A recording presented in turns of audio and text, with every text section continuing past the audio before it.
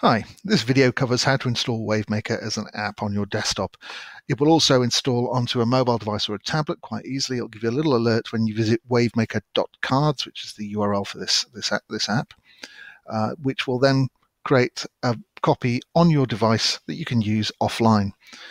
Now, you will need Google Chrome for this, and it will run on Windows and Linux. It will also run on a Mac, but you do need to change a setting on the current version of Chrome for Mac, although that's likely to change in the very near future. So have a visit first, see if you get this alert at the top of the screen that says install this as an offline app.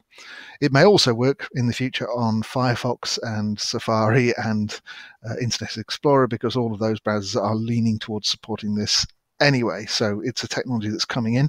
So it, at the moment, Chrome is the only one that does it seamlessly.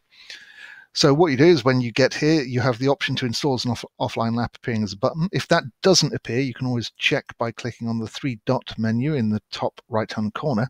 And in the menu, you should find install WaveMaker appearing.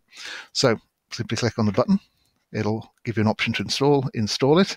And mine's pretty fast because it's already downloaded all the files but it might take a couple of seconds for you. It basically creates a version of the of the web browser window and downloads all the files to it. So you've got a working offline version of this, the app. Uh, this can be used exactly like the web version. Uh, it stores stuff locally the same way, and you can upload stuff to Google Drive as well. Uh, to uninstall, quite straightforward. Three dot menu again, uninstall WaveMaker. It'll ask you if you want to remove it, leave, and that's it removed.